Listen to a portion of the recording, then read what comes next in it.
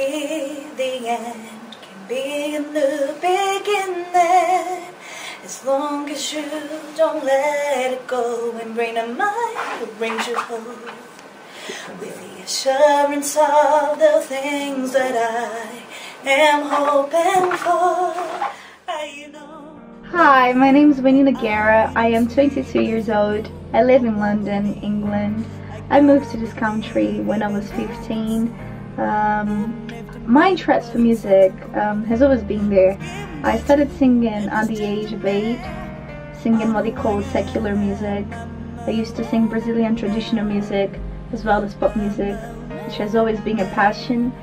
And um, at the age of 18, I got saved and uh, decided to sing gospel music. I decided that Jesus Christ was worthy of my praise if I can even say it's not a decision, it's uh, an acknowledgement, and I acknowledge that, that He is worthy of all praise. And music is a wonderful way of praising Jesus, is a lifestyle, and um, that's what I want to do. Go and bring a mind you hope. I gotta believe, even though I can see, even to me the puzzle seems incomplete. I was given the truth in the shape of me. I found who I am, my, my I am really thankful to God that I am recording my first Christian album and it is in English. It is a great privilege. I just can't thank God enough because He has done it for me. It's a no dream that I'm able to realize now. I I believe it will be an album that will impact many people, will bring hope, will bring loads of good things to everyone who listens to it. And uh, it's a 10 track album. Eight of the songs um, I've written myself. Uh, for two of them, I've written the English version.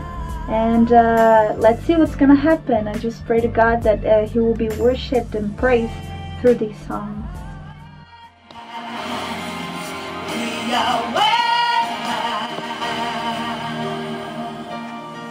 That was a bit sharp.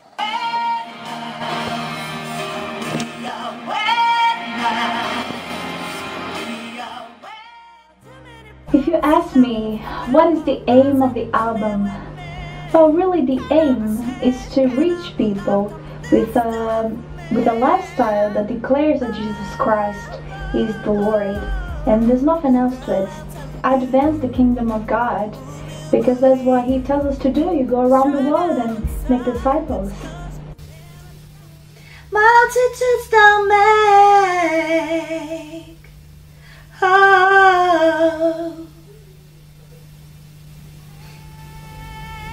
Inspirations come from to write the songs? Well, they come from, you know, diverse situations that I go through, that I see people going through, but mainly it comes from the Word of God. I try to write songs of encouragement, I try to write songs that, um, you know, will bring worship, that will bring um, praise, and, and I want people to listen to it, and they they then are able to instantly receive that peace and receive that joy that only Jesus Christ can give us.